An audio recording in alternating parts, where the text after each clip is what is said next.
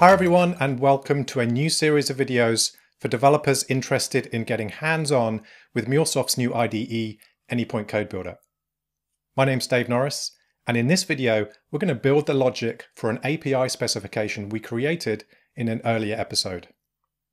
I'll be using the desktop IDE in this video, but if you want to use the cloud IDE, know that the features are very similar, so feel free to choose either.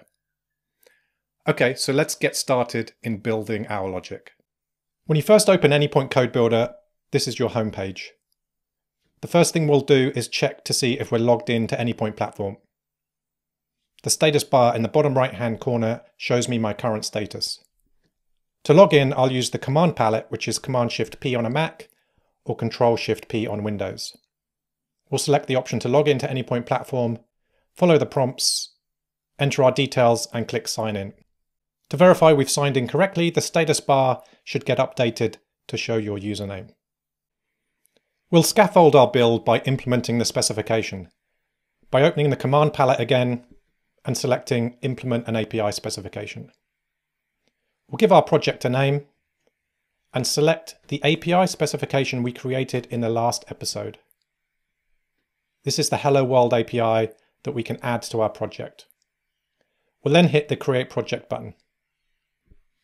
Anypoint Code Builder is now scaffolding the API based on the specification and creates a new configuration file called Hello World.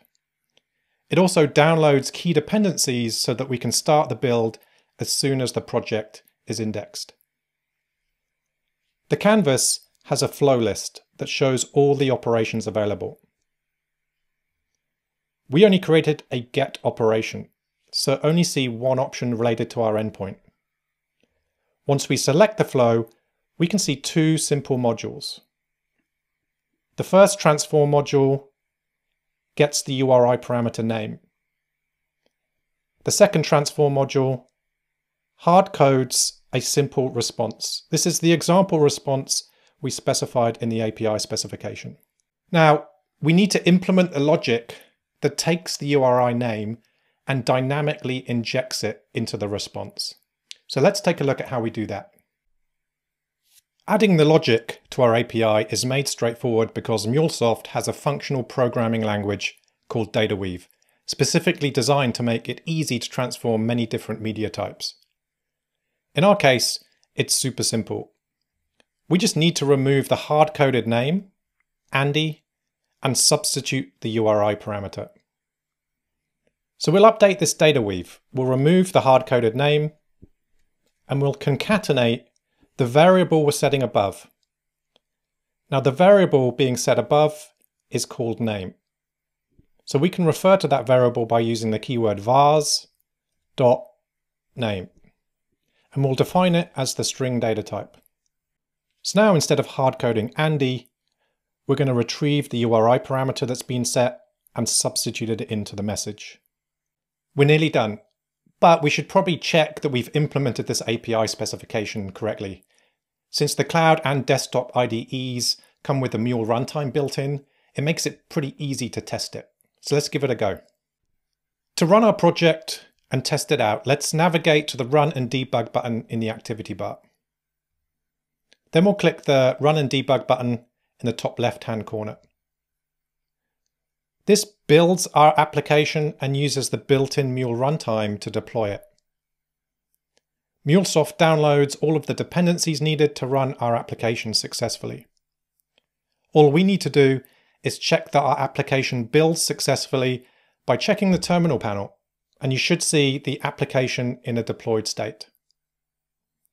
Now we can simply use the built-in terminal window in Visual Studio Code to test our API implementation. To do that, we'll use the plus button in the top right hand corner. Then we'll simply use curl as our HTTP client to call our local host endpoint. In this case, we're using localhost 8081 as our port forward slash API forward slash hello. And the URI parameter we're using in this example is Jane. So when we run this, our API should successfully reply with hello Jane. If we run it again and substitute the name for somebody else, we should see that the message dynamically changes. Congratulations, we've just implemented an API. We used the IDE to jumpstart our development by getting it to scaffold the API implementation. We use some really simple DataWeave to dynamically inject someone's name into the response before testing it in the same IDE. I've included some resources here you might find useful. At the top, we have links to online documentation that covers the same topics we went through in this video. Underneath, I've got a link to show you how to iteratively scaffold an API. So if you make changes to the design of the API, you can rescaffold the implementation. As always, for more MuleSoft content, follow us on LinkedIn and check out our Twitch channel. And finally, don't forget to check out other videos in this series for more content on Anypoint Code Builder.